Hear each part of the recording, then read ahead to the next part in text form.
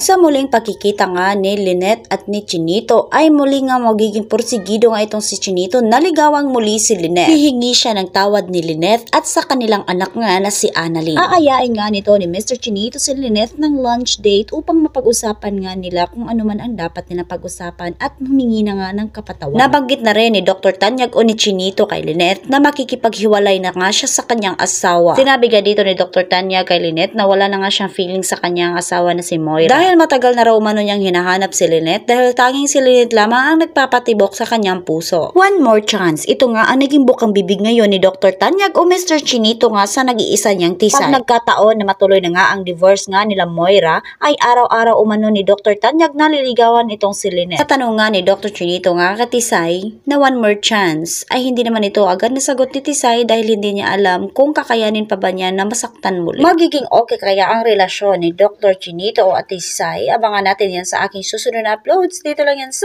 Abot Kamay na Pangarap Advance Update. Kaya naman kung bago ka lang sa aking channel, mag-subscribe ka na para palagi kang updated sa aking susunod na uploads. Thank you for watching.